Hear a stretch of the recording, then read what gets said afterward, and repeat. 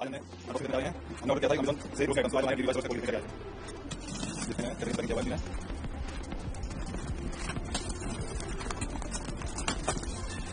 ये बात लंबी है बढ़िया इसका साउंड वाले तरीके किया है देखिए ये नहीं हमने और दिखा इसमें और हमारे कुछ याद है कुछ और याद हमारा ग्रीन का शैम्पू